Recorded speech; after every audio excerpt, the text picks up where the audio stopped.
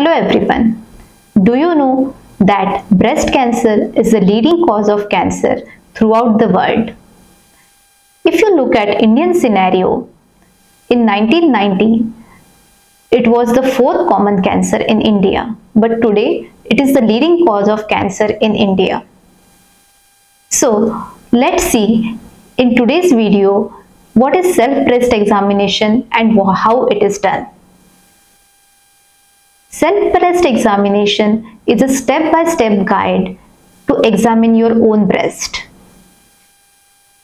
Those ladies who are doing self-breast examination regularly, it is found through studies that they can detect their infection, breast lump or cancer at early stage and this improves their outcome and treatment results. If you get any positive finding on self-breast examination, it is must to go and consult your surgeon or gynecologist and get yourself examined. They will advise you certain investigation and test and then you should proceed according to the treatment plan of your doctor. Self-breast examination is done once in every month. It just takes few minutes time you can do this test at any time of the day, maybe early in the morning while getting ready for your day or late in the evening while taking a shower or when you are lying comfortably on your bed. Those ladies who are young and having regular periods should do this test after finishing your menses. In such ladies, you should do test on the fourth or the fifth day of starting of your menses but that should be done on every month. Those ladies who are having irregular menses or who are postmenopausal should do this test on a fixed day of month. This day can be any convenient day for you, maybe the first day of the month or whatever the convenient day. Self-breast examination is very simple test.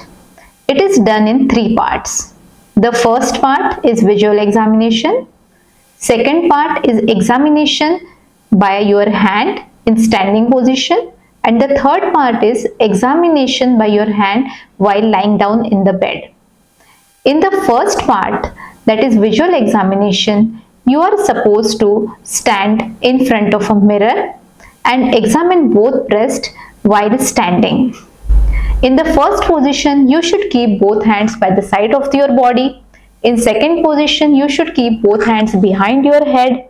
In third position, you should keep both hands on your hips and press them firmly. In all of these positions, you should look at the shape and size of breast, any asymmetry, any changes in the breast size and shape, any changes in the skin of the breast like dimpling or puckering, any changes in the nipple areola or discharge from nipple. If you find any of these symptoms, then you should consult your doctor.